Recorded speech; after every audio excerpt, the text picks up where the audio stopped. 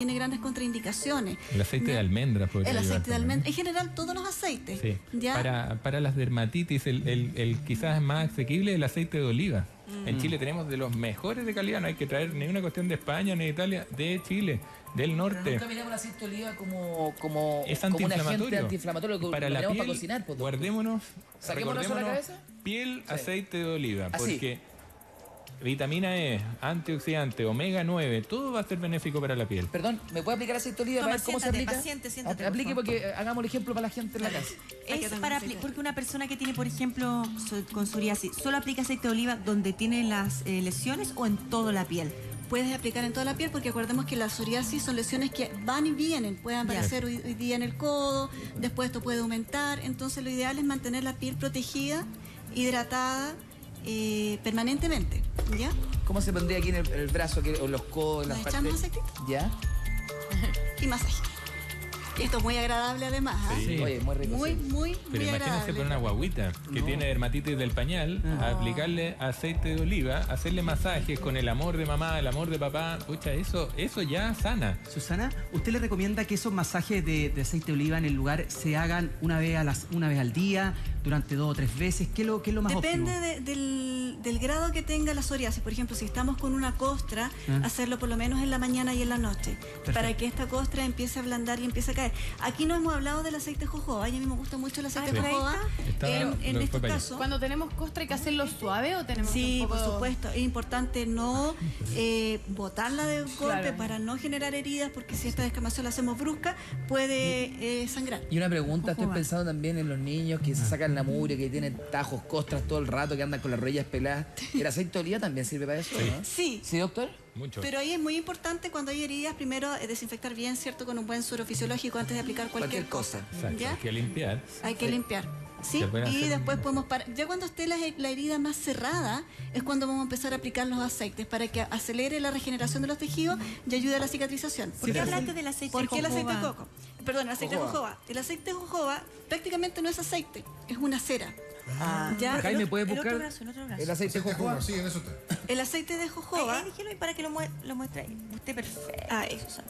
Ahí está, aceite natural jojoba. Sí, nosotros le decimos aceite, pero lo que en realidad tiene son muchas ceramidas.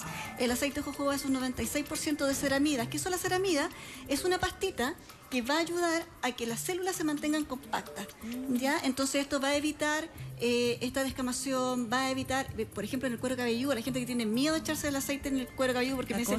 el pelo graso. No, regula la secreción Sí. de, de sebo en el pelo Ah. y además va a evitar esta descamación que es la que genera la caspa.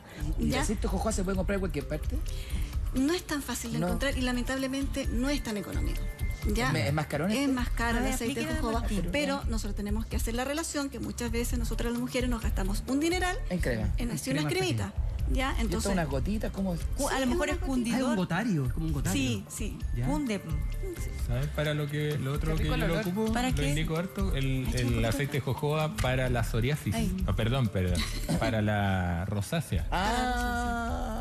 Para la ¿Qué rosácea la- aquí en esta zona, que no es el tema de hoy, pero la- el aceite de jojoba va a enfriar eso, va a ayudar harto. Así el aceite de coco también, que es un aceite frío para la ayurveda, va, va a calmar Qué ese bueno, fuego ¿no? que se expresa por la carita. Susana, y siempre hacerlo con la mano, porque hay gente que puede ocupar a lo mejor eh, algodón o puede ocupar eh, algún tipo de, de, de esto, ¿cómo se llama?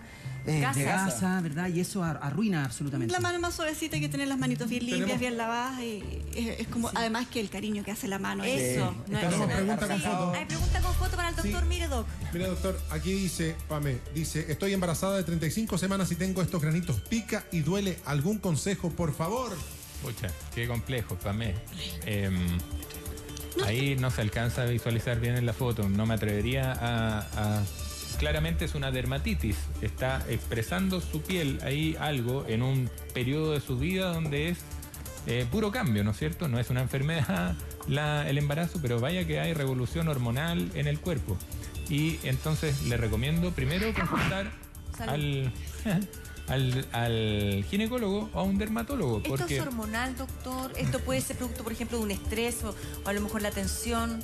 todo eso y más puede ser. La verdad, por eso no me atrevo a hacer una recomendación directa porque sería muy irresponsable, no estoy conociendo a la persona, es solamente la apreciación de una foto. Lo que le recomiendo, Pamela, es que consulte, no se quede con eso. Si a usted le está afectando y no quiere salir de su casa, no quiere tomarse fotitos embarazada porque le molesta eso, haga algo, no se quede. Es una dermatitis y puede estar expresando todo lo que hemos comentado. Ojo con eso. Hay más preguntas Hay que más aparecen preguntas. en pantalla, sí. Dice, ahí está. Dermatitis de pañal. María Isabel manda esa foto. Claro. De guagua. Súper frecuente. Eso no es, es. Es una dermatitis de contacto, le decimos del pañal, producto probablemente porque se queda la orina ahí un tiempo más allá de la cuenta. A, todos los papás se nos ha quedado el pañal más pegado, ¿no es cierto? O la acumulación de orina u otras eh, sustancias también pueden ser. Eh, hay que distinguir ahí la dermatitis del pañal, que es una dermatitis, como decíamos, de contacto, o eh, de la, perdón, de la, de la micosis, de la infección por hongos. Ahí el especialista es un pediatra y vale la pena consultar, llevar al control de niño sano, sacarle el, el- el pañal para revisar. Doc, si la- fuera la primera. Eh, si fuera la primera alternativa de la, la dermatitis por pañal. Sí. La hay crema, la típica crema blanca, ¿para qué voy a dar el nombre? La típica que usan los papás, esa crema blanca como un ungüento. Sí. ¿Usted va por ese camino o tomaría algo natural, por ejemplo? Yo recomiendo harto más que el. eh, ojo que la, la- el compuesto se llama hipogloss, no es solo la marca. Ah, ya, qué bueno. Eh, sí, no se preocupe. Pero recomiendo más la caléndula. Hay cremas de caléndula que son antiinflamatorias rapidísimas y también, simplemente porque la caléndula es recara, eh, aceite de oliva, pues, También. basta con aceite de oliva en la zona rojita. No deje de llevarlo al pediatra, por cierto, sobre todo si persiste, a pesar de, qué sé yo, tres días de tratamiento, eh, pero el aceite de oliva puede ayudarle mucho. Oye, Susana, fuera de cámara hablamos con Susana. Cuando esto ocurre, por ejemplo, este, en las piernas, eh, en, lo- en el pecho, en la guata, esto además tiene también un tema eh, personal Sí. que es importante. O sea, tiene que ver porque uno también está pasando por una situación difícil como ser Exacto. humano, como persona, ¿o Sí. no? Eh, como comentábamos con el doctor, la verdad es que la mayoría de este tipo de patologías son originadas por un estrés emocional, eh, por al- algo que quedó dando vuelta y que nosotros no tenemos bien resuelto. Entonces es súper importante que pongamos atención en qué parte se nos está presentando la lesión. Si es en los brazos, si es en las piernas. ¿Por qué? Porque en el fondo nosotros con todo esto vamos a tratar cierto el síntoma, pero en el fondo la idea es poder curar. Son, estamos hablando de enfermedades que generalmente tienen eh, proyección crónica. Entonces, eh, sabemos que a lo mejor esto lo va a aliviar un rato, pero después van a volver. En la medida que nosotros no hagamos la sanación emocional que nos está generando esta enfermedad, va a ser difícil que esto no se mantenga en el tiempo. Entonces, ¿por qué nos tenemos que fijar? Si tenemos, por ejemplo, eh, estas irritaciones en los pies, ¿qué significan para nosotros los pies? Significan el desplazamiento, ¿cierto? Entonces, a lo mejor hay alguna emoción ahí en donde diga, pucha, yo a lo mejor no me estoy moviendo, no me estoy desplazando como corresponde, y eso está afectando directamente la parte que se relaciona a esta emoción. Puede ser el rostro, por ejemplo, una persona que no esté contenta o que se sienta muy incapaz de relacionarse con el mundo por su apariencia física.